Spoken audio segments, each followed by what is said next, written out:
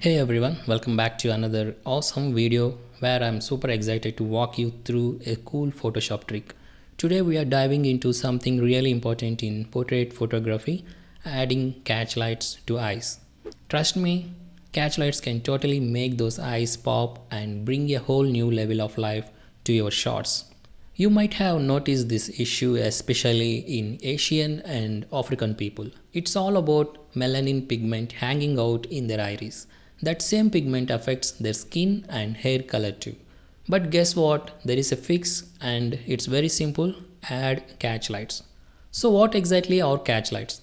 Well, think of them as those little reflections or sparkles in the eyes. They are caused by light sources hitting the eyes just right and creating these bright spots.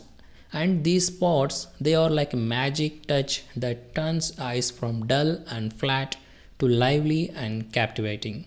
Catch lights do more than just adding a sparkle or reflection, they draw attention to the eyes and make them stand out. Imagine looking at a portrait where the eyes just feel alive and engaging. That's the catch light effect in action. Alright, no more holding back. Just jump right in. Time to learn how to add that extra spark to eyes using catch lights in Photoshop. In this tutorial, we will work with this sample photo. If you zoom in, you will see some small catch lights in the eyes, but they are not really standing out. We will fix that by adding bigger and more noticeable catch lights. Photographers use various lighting setups to get the catch lights they want. In this case, we will use the ring light effect. You can also experiment with different shapes and lighting setups for light sources and also you can use different photos as reference to add catch light. Now navigate to the shapes tool and choose the ellipse tool. Ensure that the fill color is set to white and maintain the rest of the settings identical to the ones I am using here. Begin by drawing the circle precisely onto the iris like this. While doing so, remember to hold press and hold the shift key to ensure an impeccable circular shape. Next, Adjust the fill slider to completely eliminate any fill color within the circle. Following this step, initiate a double click on the shape layer to open the blending options panel. Within this panel, activate the stroke effect. Adjust the settings according to your liking. Additionally, enable both the inner glow and outer glow effects to enhance the circle's appearance. To lock in these changes, simply click the OK button to confirm the applied effects. Positioning and dimensions of the catch light plays a significant role in conveying the mood and expression of the subject. Therefore, take a moment to shift the catch light to a position that harmonizes with the subject's mood and expression. In this instance, the current placement of the catch light appears to be quite fitting, aligning well with the desired aesthetic and mood of the subject. Now we need to soften the edges. To soften the edges of the light, right click on the layer and convert it to a smart object. Go to filter menu, choose Gaussian blur and apply a small amount of blur. The edges soften, mimicking the way light naturally diffuses in the real world. This tiny detail adds a touch of realism that can make a world of difference in your composition. Now duplicate the layer by pressing Ctrl or Command plus J and drag it to the other eye like this. Simple, right? Now create a new blank layer by clicking this plus icon and use a soft brush. Change its blending to overlay to paint in the opposite direction of the light source. Visualize where your light source is coming from, whether it's sunlight streaming in from window or a spotlight casting its glow Start brushing in the opposite direction of this light source. This technique is the magic behind creating depth and sense of authenticity. If the light is coming from the left, gently brush your strokes towards the right. This creates subtle shadows and highlights that mimic the interplay of light in the real world. Then apply Gaussian blur to spread the light out. This adds a nice touch of realism. By adding Gaussian blur, your artwork will now have that extra layer of dimension as if the light is genuinely interacting with your composition.